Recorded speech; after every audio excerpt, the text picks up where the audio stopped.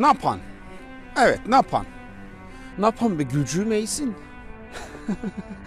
Bugün programı böyle açalım. Napan eğsin.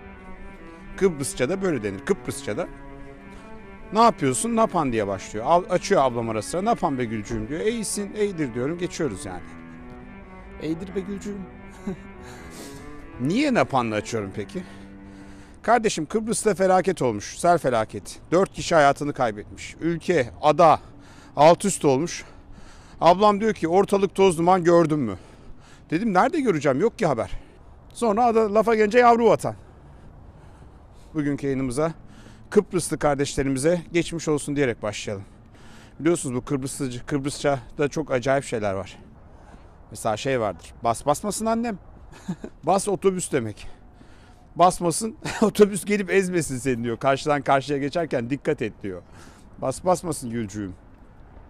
Ezilirsin diyor yani. Şahane ya. Kıbrıs'ı seviyoruz. Kıbrıslıları da seviyoruz. Kuzey Kıbrıslıları daha çok seviyoruz. Niye? Kanımız çekiyor çünkü.